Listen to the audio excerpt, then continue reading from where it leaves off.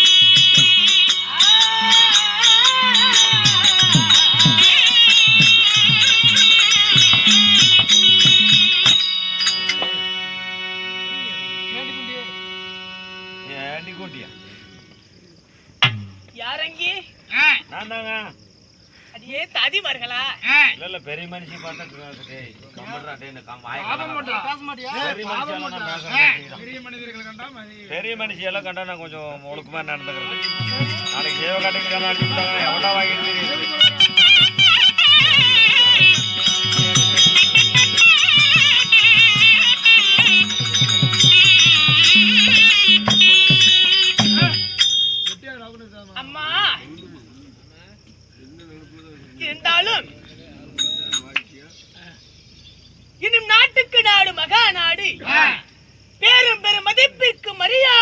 உரிய இந்த நாட்டினுடைய பேர் நாமங்கள் என்னம்மா இது நாகர்பாளையங்க. பெரிய பல்லு உழவு கூடாதுடா நீங்க எல்லாம் கம்முட்டுங்க உண்மையான பேர் அது இது? என்னங்க நாகர்பாளையம். அம்மா. நாகரம் அவர் அந்த பையன் ஒத்துக்கிறான் நீங்க ஒத்துக்க மாட்டேங்கிறீங்களா. இன்னும் நாகர்பாளையம் கிராமம் என்று சொன்னால் நமக்கெல்லாம் ஒரு தாய் திருநாடு. அவன் அவன். உண்மைதான். இந்த நாட்டிலே வாழ்ந்து வரக்கூடிய ஆணாக பிறந்த அப்பன்மார்களும் பெண்ணாக பிறந்த நமதருமை தாய்மார்களும் இன்னும் நாடகத்தை காண வந்திருக்கும் அனைத்து கலா ரசிகர்களுக்கும். அம்மா நம்முடைய செங்கவேல் துணை கலைமகள் நாடக சபாவின் சார்பாக முத்தான முதற்கண் வணக்கத்தை தெரிவித்துக் கொள்படி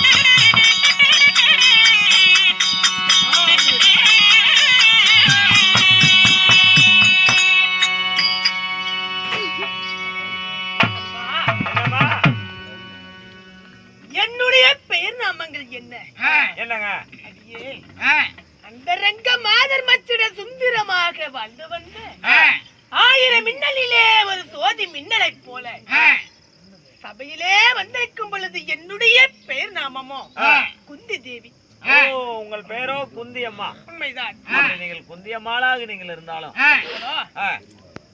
குந்தி அம்மாவாக நான் இருந்தாலும் நான் எப்படி பிறந்தவன்? என்னுடைய பிறப்பினுடைய ரகசியம் என்ன?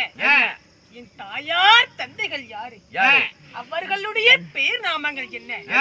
உனக்கு தெரியுமா? விளக்கமா சொன்னதாங்க தெரியும். அப்படியா? அம்மன் சூரசேன யாகத்தாலே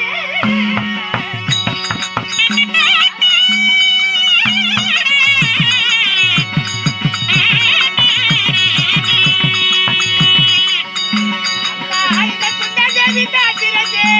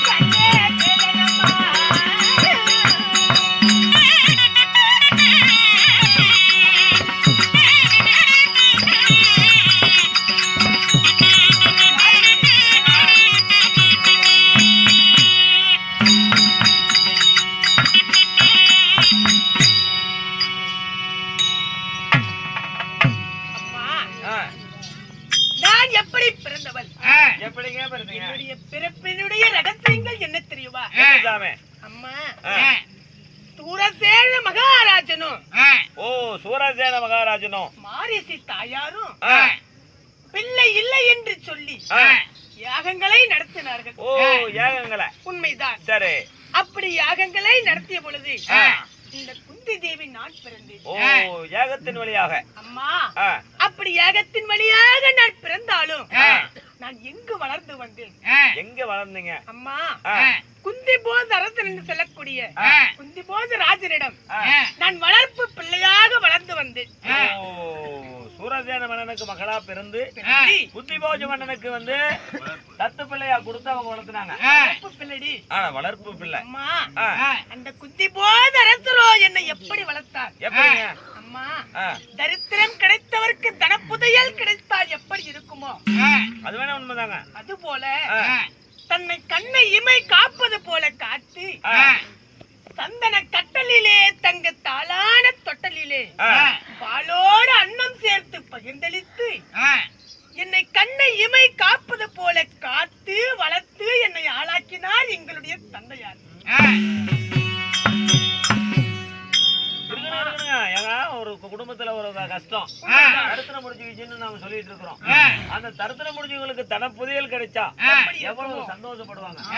அப்பேற்பட்ட சந்தோஷத்துல உங்களை எடுத்து வளர்த்தி வாலிபம் செஞ்சிருக்காங்க. தவத்திலே பிறந்த குழந்தை என்று பாராமல் தனக்கே குழந்தை பிறந்தையா குழந்தை பிறந்தையாக பாவித்து. தன்னை வளர்த்தினார் என்னுடைய தந்தையார். வேண்டியதாங்க ஒரு பொட்டு பிள்ளையை எடுத்துட்டு வந்து வளர்த்துறோம். உண்மைதான். தன் பிள்ளை போலதான் வளர்த்துனா. அம்மா அப்படியெல்லாம் வளர்த்து இரட்டு பதினாறு மங்கையான பிறகு யாருக்கு மனம் முடித்து வைத்தார் யாருக்கு அந்த நாட்டு மன்னருடைய பெயர் என்ன தெரியுமா? அம்மா அந்த பாண்டு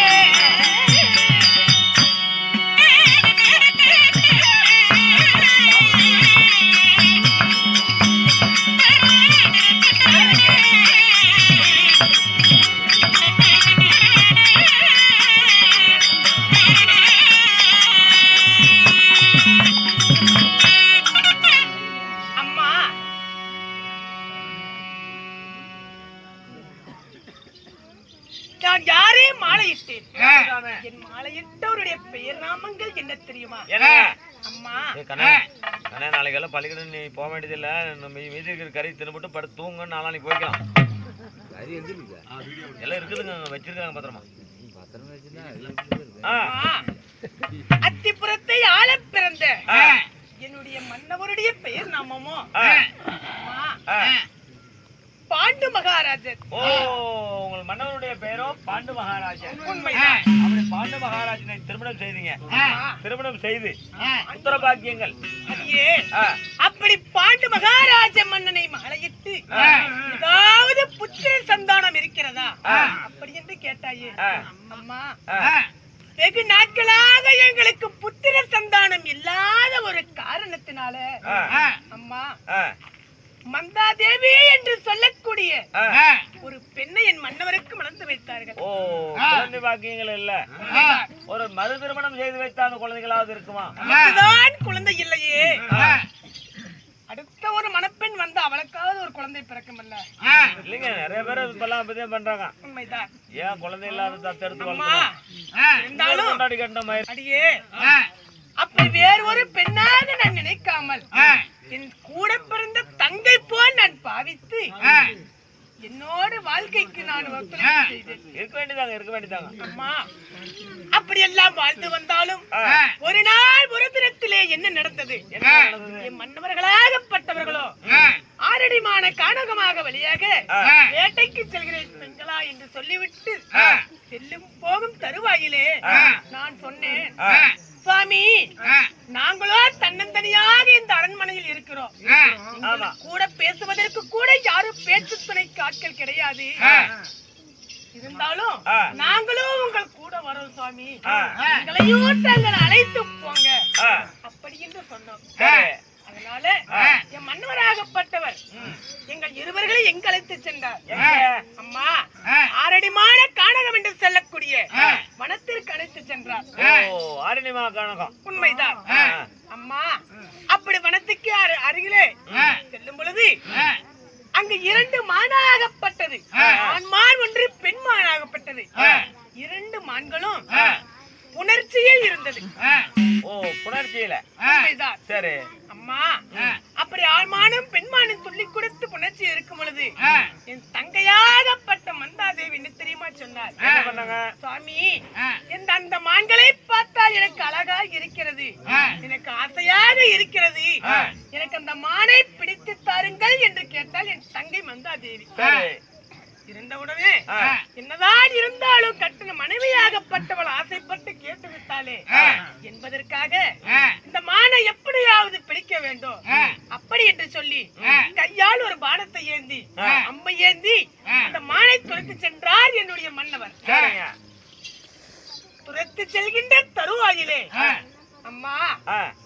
இந்த மானை உயிரோட பிடிக்க முடியாவிட்டாலும் எப்படியாவது நம்ம மனைவி ஆசைப்பட்டுட்டா உயிரோட தான் நம்ம பிடிச்சு கொடுக்க முடியாவிட்டாலும் ம். அதாவது எப்படியாவது மடிச்சா நம்ம கொடுத்துடலாம் ஆ. அப்படி என்ற ஒரு நம்பிக்கையில ஆ. அந்த பானத்தை எடுத்து அம்பை எடுத்து தொடுத்தார் என்னுடைய மன்னவர் சரி தொடுக்கும் பொழுது புணர்ச்சியிலே இருந்த ஆண்மானும் பெண்மானும் பட்டு உடனே அந்த மான்கள் உருவம் மாறின உண்மைதான். அந்த மானாக இருந்தவர்கள் யாரு? அம்மா. சிறங்கி வனத்திலே வாழ்ந்து வரக்கூடிய. அமிர்தண்ட மகா முனிவரும். அவருடைய மனைவியாகப்பட்டன குருப்பத்தினி தாயாரும். உண்மைதான். இருவரும் அந்த வனத்திலே புணர்ச்சியாக இருக்கும் பொழுது அப்பொழுது அந்த முனிவர் சொன்னார் அதே சத்திரிய குலத்தில் பிறந்து விட்டு உனக்கு சத்திரிய தர்மம் தெரியாதா. பாண்டராஜா புணர்ச்சியிலே இருக்கும் மிருகங்களை வானத்தை விட்டு இப்படி இவர் தடுத்த கலைத்தாயே இப்பேறப்பட்ட உனக்கு சத்திய தர்மம் தெரியாதா? இப்படி எங்களுடைய புணர்ச்சியை காமத்தை நீ தடுத்ததால நீ உன் மனைவியுடன் சேரும் பொழுது உன்னுடைய கரமாகப்பட்டது. சிரமாகப்பட்டது. ஆயிரம்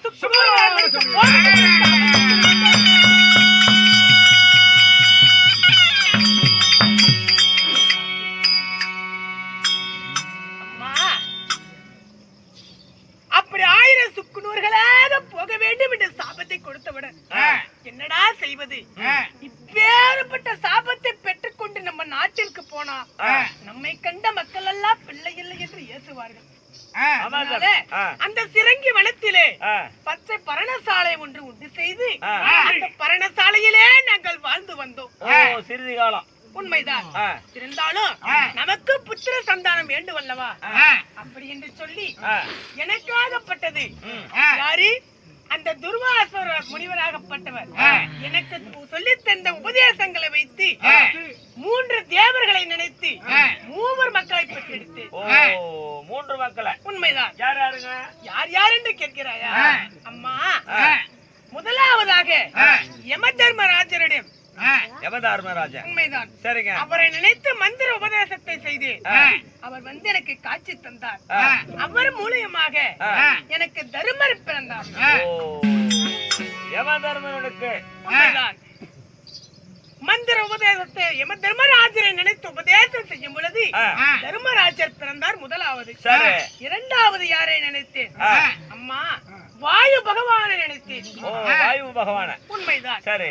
அப்படி வாயு பகவானை நினைக்கும் பொழுது எனக்கு இரண்டாவது பிள்ளை பீமசேனன் உண்மைதான். மூன்றாவது யாரை நினைத்தேன்? தேவேந்திர மன்னனின் மனதால் எண்ணி. மந்திர உபதேசத்தை செய்யும் பொழுது எனக்கு மூன்றாவதாக அர்ஜுனன் பிறந்தான். அம்மா அப்படி மூவர்களை பெற்றிருந்தாலும் நான் மட்டும் பிள்ளை பெற்றால் போதுமா? கூட பிறந்தால்தான் தங்கையா? பிறக்காவிட்டாலே என் தங்கை போல் நினைத்து நான் வாழ்ந்து வருகிறேன் அல்லவா? அதனால என் தங்கையாகப்பட்டவள் ஆசைப்பட்டு அக்கா எனக்கு அந்த மந்திர உபதேசம் ஒன்றுதான் இருக்கிறது அல்லவா? அதை எனக்கு தாருங்கள். நானும் அந்த மந்திர உபதேசத்தை வைத்து நான் குழந்தையை பெற்றுக் கொள்கிறேன் என்று கேட்டார். நம்ம தங்கைதான் என்று சொல்லி அந்த மந்திர உபதேசத்தை அவருக்கு சொல்லிக் கொடுத்து அம்மா அந்த தங்கை மந்தார தேவியாகப்பட்டவர்களோ அஸ்வினி தேவர்களை நினைத்து உபதேசத்தை சொல்லும் பொழுது